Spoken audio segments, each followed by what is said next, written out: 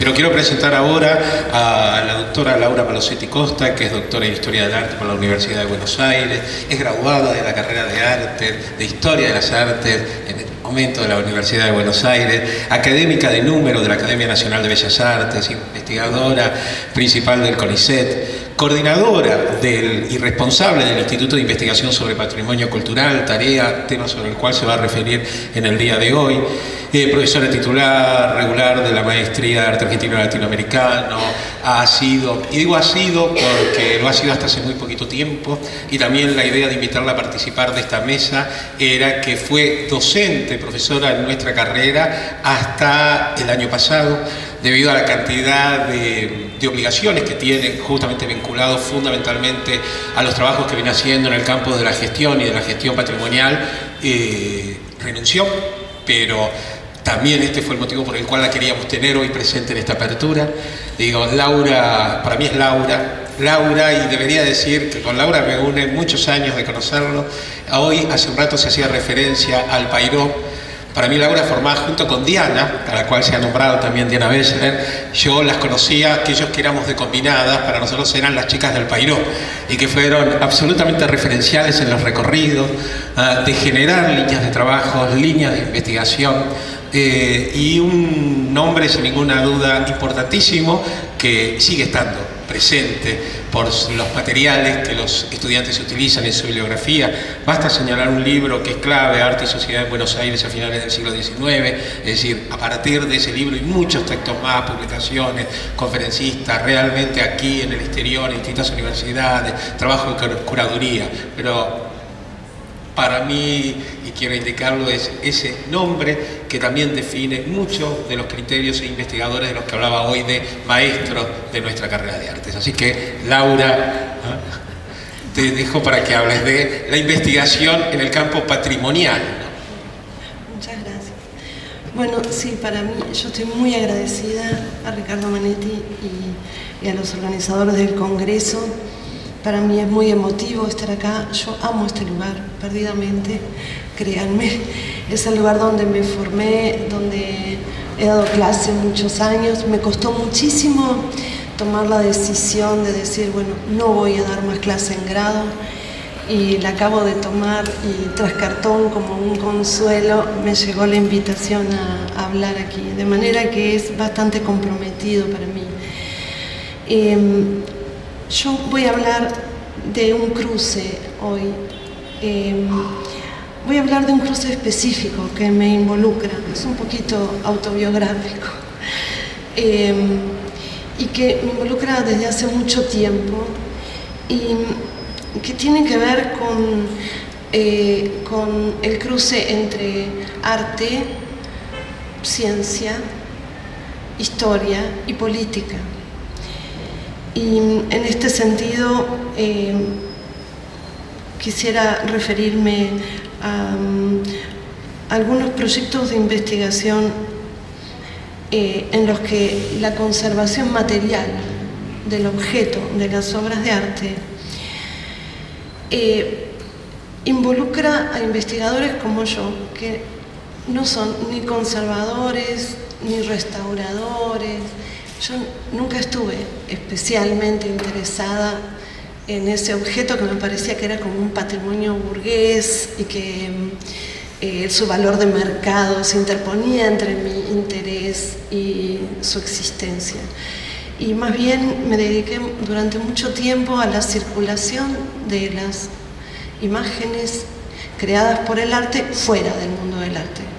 Por eso me ocupé del siglo XIX Creo que si me hubiera ocupado del 20 hubiera trabajado sobre cine y televisión inevitablemente, pero el cine y la televisión en el siglo XIX era la gran pintura al óleo. De todas maneras, desde hace unos cuantos años trabajo en un instituto de patrimonio y en este momento lo codirijo y quisiera con un breve pequeño ejemplo de la investigación que llevamos a cabo ahí eh, hacerles, mostrarles cuáles eh, otras facetas de la conservación del patrimonio que no tienen específicamente que ver ni con el valor de mercado, ni con el éxito del público, de arte, ni eh, con la autentificación de las obras para determinar si son falsas o verdaderas, sino que se vinculan con este otro tipo de intereses. Nuestra formación acá en la facultad, em, y lo digo desde los dos extremos, desde, desde cuando fui alumna hasta cuando fui profesora, siempre se ha servido de un cruce específico entre palabra e imagen que se viene practicando desde la invención misma de la fotografía. Y, que está estimulada, ha sido estimulada por las invenciones como por ejemplo el proyector de transparencias a principios del siglo XX eh, que usó Belflin, ¿verdad? El inventor del método comparativo formal ponía delante de sus estudiantes dos proyecciones y comparaba lineal, pictórico, eh, hasta la invención del PowerPoint. Eh, Peter Krieger eh, prologaba el famoso libro de Hans Belting, tan importante, ¿verdad? Que fue The End of Art History. Bueno, se terminó la historia del arte, un libro que cuando salió amplió muchísimo una disciplina muy conservadora, señalando que ese mismo año, de 1994, se inventó el PowerPoint. O sea, también distintas eh, maneras de enfocar. El arte se han vinculado con la tecnología y con la ciencia en las maneras de difundir el arte. Eh, en este sentido, esa presencia fantasmagórica de las imágenes en el aula eh, hace que el profesor eduque la mirada de los estudiantes. La voz del profesor acompaña esas proyecciones y y les enseña a analizarlas de la mano de la bibliografía.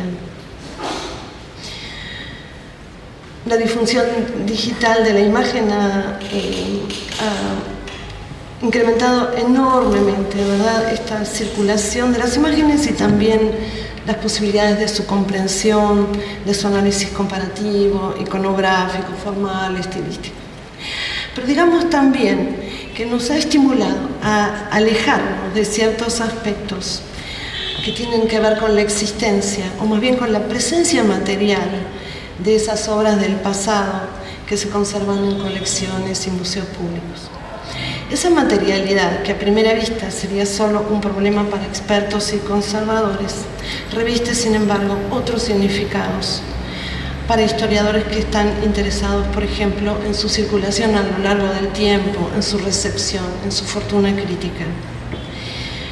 Y entonces quisiera aquí referirme puntualmente a un proyecto en el que colaboré en los últimos años, desde 2008, junto con Roberto Amigo, otro egresado de esta casa, con investigadores de Chile, de Perú, con el equipo de químicos, físicos y conservadores del Instituto Tarea, instituto que fue fundado hace más de 20 años por la Fundación Antorchas en colaboración con la Academia Nacional de Bellas Artes y que fue incorporado a la Universidad Nacional de San Martín hace 10 años en un concurso que ganó el equipo formado por José Emilio Burucúa, otro gran profesor de esta casa, y Néstor Barrio, que es su actual decano. Y, bueno, a diferencia de la UNTREF, eh, el Instituto eh, tarea y algunas otras eh, dependencias de la universidad, como el Centro de Arte Experimental o las carreras de circo, cine documental, etcétera, están metidas dentro de una universidad cuyas prioridades son otras, son energía atómica, la ciencia dura, es casi el 70%. Pero igual tenemos un lugar cómodo e interesante allá adentro. El equipo que dirigió este proyecto, que se llamó José Gil de Castro, pintor de Libertadores, fue dirigido por Natalia Magluf, la directora del Museo de Arte de Lima, y contó con un subsidio de la Fundación Getty. Trabajamos muchos años juntos, historiadores, científicos, conservadores, sobre un corpus de casi 300 obras que están distribuidas en varias naciones sudamericanas, Chile, sobre todo Perú, Bolivia, Venezuela, Uruguay. Hay una obra en la Guayana, Argentina y varias colecciones europeas. Nuestro Museo Histórico Nacional es el que tiene mayor número de obras de Gil de Castro este pintor mulato que fue el primer retratista de San Martín y que paradójicamente todavía aquí es casi un desconocido. Aun cuando han sido muy difundidos sus retratos como iconografía de San Martín, de Bolívar, de los héroes de la independencia, eh, Gil de Castro no, integra el corpus del arte nacional básicamente por la simple razón de que nunca vivió acá. Lo mismo ocurre en Venezuela y en Bolivia, donde están sus dos retratos más importantes de Simón Bolívar. Gil de Castro, en cambio, es considerado el primer pintor nacional en Chile y eh, en Perú. Los estudios químicos, físicos, permitieron conocer su técnica, permitieron conocer los modos en que reproducía mecánicamente sus imágenes dos, tres, diez veces. Eh, nos permitió saber que tuvo un taller, aunque lo trató de mantener oculto, permitió atribuir o desatribuir cuadros dudosos. Pero de toda esta investigación, de la cual resultó el primer catálogo razonado de la obra de este artista tan importante de la época de la Revolución,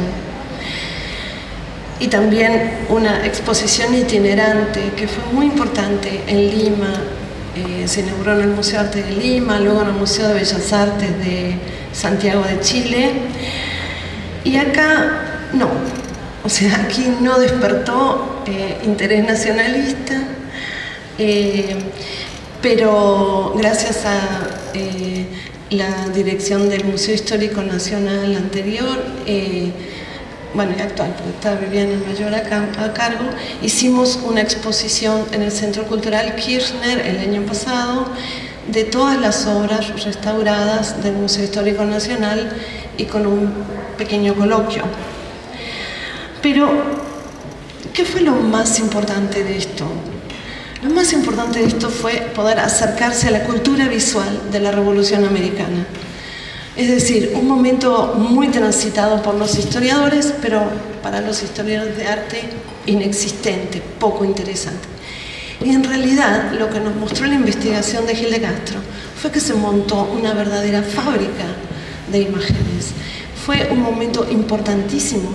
Se fabricaron los escudos, se fabricaron las banderas, se fabricaron los colores nacionales, las insignias, pero sobre todo se fabricaron retratos porque el retrato en ese momento era el símbolo del poder por excelencia. Piensen que nunca, jamás el rey de España estuvo en América, siempre estuvo su retrato. Y su retrato desfilaba en las calles bajo palio y se le rendía homenaje de rey al retrato. Y desfiló bajo palio el retrato de Bolívar. Y, y el retrato de San Martín estuvo en la plaza con haditas disfrazadas de fama que tiraban florecillas y se le rendía homenaje, eh, no, no un homenaje similar al de la figura del rey, pero ocupando un lugar simbólico en la sociedad que tenía que ver con eso. O sea que nuestra investigación nos, nos puso el ojo y puso el ojo de mucha gente en esa cultura visual que fue tan persuasiva, tan persuasiva, que logró que los americanos, los criollos, se convencieran de que era mejor ser independientes de España que seguir siendo fieles a Fernando VII. Y esto en muchos lugares no fue fácil. Fue fácil en Buenos Aires, que era un lugar completamente periférico del poder español, pero fue muy difícil en Lima, por ejemplo. Y de toda esa investigación yo me ocupé de la fortuna crítica y de hacer unas cuantas fichas. Yo quisiera ahora, para terminar rápidamente, a ver si puedo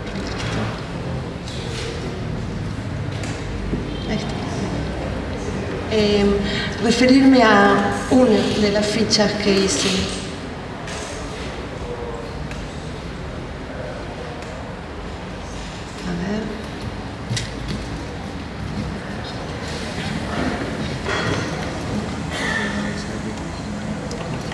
muy breve, termino en cinco minutos.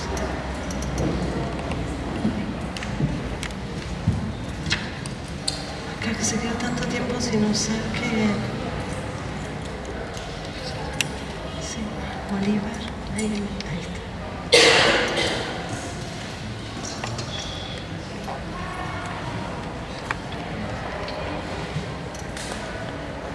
Bien. Ahí le ponemos para...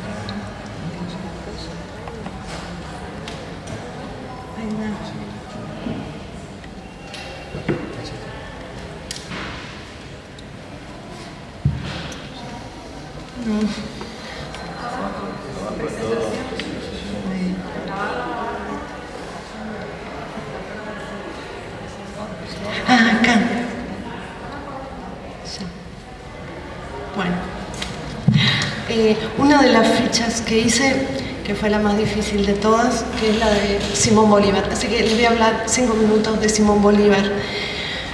Eh, Bolívar fue el de los libertadores latinoamericanos el más representado. Tuvo una política de la imagen sistemática. Hacía llegar su retrato antes de su entrada a las ciudades. Y fue también de los libertadores de América el más ambicioso, el que tuvo un proyecto más ambicioso. Bueno, ustedes pueden consultar. eh, Venezuela tiene muchos materiales online, pero en verdad los estudios de Alfredo Bolton, por ejemplo, sobre iconografía de Bolívar, es algo oceánico. Todos los pintores americanos, europeos, pintaron retratos de Bolívar y Bolívar hizo un uso sistemático de ellos. Eh, pero el retrato de Bolívar es este. Eh, es un retrato de cuerpo entero pintado por José Gil de Castro. Nosotros sabemos hoy eh, exactamente cuándo fue pintado. Eh, fue pintado entre el 3 de octubre y el 25 de octubre de 1825. No voy a entrar en detalles, ojalá puedan alguna vez ver ese catálogo razonado, pero bueno, tiene, eh, viste el uniforme que le regalaron en Lima el 3 de octubre y el 25 se fue cuadro para Inglaterra para encargar grabados. Sabemos por la correspondencia eh, que Bolívar eh, estimó muchísimo este retrato, que lo hizo llamar a Gil de Castro porque, porque Gil de Castro antes de conocerlo, a partir de otros retratos, había pintado nueve retratos de él en una versión anterior que ahora les voy a mostrar, y le encargó dos retratos idénticos. Uno viajó a Londres y el otro a Caracas con un propósito muy claros y precisos. El de Londres iba a hacerse grabado en la famosa casa Turner y el de Venezuela iba a presidir el salón de su hermana María Antonia, precediendo su, su regreso triunfal a Caracas. O sea, es muy clara la circunstancia. Hoy esos dos son retratos de Estado. El de Venezuela, que es el que les acabo de mostrar, presidía la sala oval del Palacio Legislativo de Caracas. Desde su fundación, 1877, los hijos de María Antonia Bolívar le donan al Estado venezolano. Y eh, el que fue a Inglaterra volvió a Bolivia y está en una, presidiendo la sala parlamentaria de la Casa de la Libertad en Sucre. Ahí ustedes al lado pueden ver el grabado que le hizo Turner, que además le agregó al despojamiento tan austero de este retrato unos simbolitos para que se note que son americanos, ¿no? que es una palmera, esto, se podría hablar mucho de esto. Ahí lo tienen ustedes emplazado con todo un marco ornamental. Y una tercera versión del mismo retrato en Lima, pintado después que Bolívar murió. Fíjense qué interesante, Bolívar murió en el 30. Gil de Castro, que nosotros hoy sabemos por los estudios químicos que calcaba con un sistema eh, derivado del estarcido italiano, del spolvero, con el que se calcaba sobre las paredes eh, los, este, los dibujos para hacer frescos. Este, evidentemente a través de maestros italianos que llegaron a Lima en la colonia, este método que consistía en una ruedita chiquitita que iba pinchando el dibujo y luego Aníbal me dice, sí, los polvero, ¿no? Eh, hemos descubierto con microfotografía, con reflectografía infrarroja, con estas cosas que parecen aburridas y son muy fascinantes cuando uno tiene las preguntas adecuadas. Este cuadro está calcado de los otros, o sea que tenía en su fábrica taller tres y, fue terminado y ornamentado y llenado de cosas que era lo que habitualmente Gil de Castro hacía en el que terminó después de su muerte. Este es el retrato anterior. Eh, Bolívar se afeitó los bigotes para hacerse ese retrato con Gil de Castro. Fue como que europeizó su figura, se puso un peinado a la moda, coupe de vent, un peinado republicano, y se afeitó los bigotes. Pero no solo eso, fíjense ustedes que en este retrato anterior y en todos los otros está con el pecho lleno de medallas, con charreteras cargadas, o sea, con toda una simbología eh, que recargaba su figura de un modo anticuado.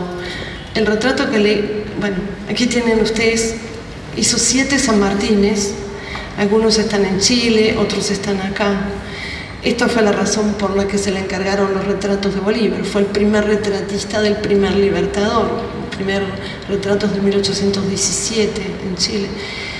Luego, para la Argentina, el retrato de Gil de Castro no ha sido muy exitoso porque hay un daguerrotipo de San Martín y luego cuando vino su dormitorio llegó el famoso escolar, ¿no? San Martín Napoleónico de la bandera. Y para Chile también fue el primer retratista de O'Higgins, y en cambio para Chile O'Higgins es el O'Higgins de Gil de Castro. Ahora quisiera detenerme muy brevemente en la figura de este Bolívar para ver por qué el Bolívar hoy sigue siendo el de Gil de Castro. En primer lugar, eh, la ambigüedad tremenda de esta imagen. O sea, no tiene medallas, el uniforme no es exactamente el que le regalaron, es una síntesis de los uniformes que había usado en las distintas regiones que había ido liberando. Y la espada, eso es lo más notable, nosotros creíamos que estaba cortado el marco, que por eso no estaba la espada completa. Y no, los estudios técnicos mostraron que la espada está cortada deliberadamente y está oculta deliberadamente la cazoleta y el mango de la espada para que no sea ninguna de las cinco espadas que las cinco naciones latinoamericanas le habían regalado. O sea, este señala el momento de mayor ambición política, ese momento en que Bolívar cree que es posible gobernar en forma vitalicia la gran Colombia unificada en la que creía se iba a convertir Sudamérica. Este es el retrato manifiesto de Bolívar. Yo soy todo y no soy nadie.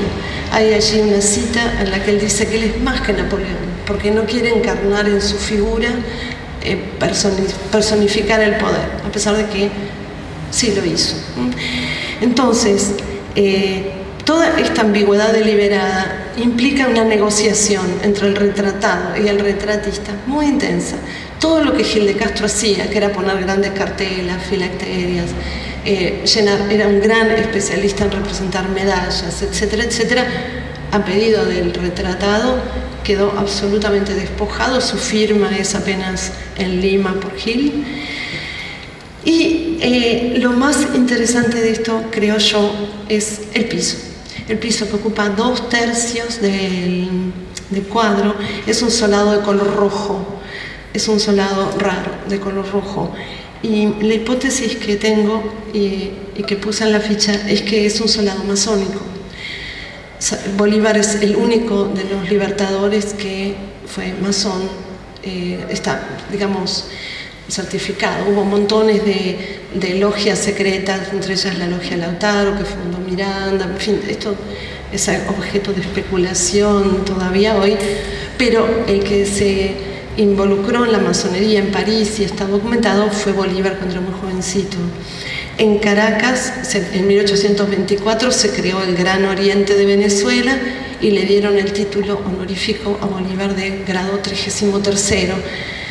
Y ese grado 33 en la iconografía masónica se representa con una alfombrita de cuadrados rojos, eh, evidentemente este piso no es una alfombrita masónica, no es un signo claro, como tampoco fue claro el uniforme, pero ese solado rojo probablemente llegando a Caracas haya sido un guiño para los masones que lo acompañaron. Quiero cerrar esto con, yo decía, imagen, historia, ciencia política. Eh, la política de de Hugo Chávez en Venezuela giró mucho alrededor de la figura de Bolívar, cambió los símbolos nacionales, cambió el nombre de la República y se dedicó sistemáticamente a tratar de demostrar que Simón Bolívar había sido envenenado y que además era mestizo. Entonces se exhumó su cadáver, no sé si ustedes esto lo recuerdan, se contrató un equipo de expertos forenses para hacer estudios de su sangre y a un equipo de especialistas en reconstrucción 3D para saber cómo era la vera efigie de Bolívar, que como siempre se trabajó los retratos de los próceres, si son verdaderos o no. Nosotros, como ustedes ven, trabajamos desde otro lugar.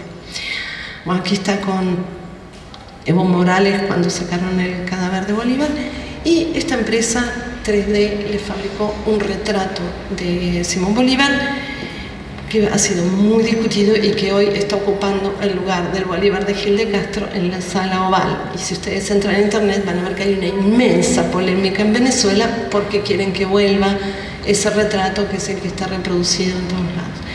Pero lo interesante es que el retrato que hizo el equipo 3D, también ustedes pueden encontrar esto en internet, se inspiró en el retrato de Gil de Castro para reconstruir todo aquello que no tenía que ver con la estructura craneana. Y finalmente el resultado se parece muchísimo al retrato del libertador que tuvo más éxito.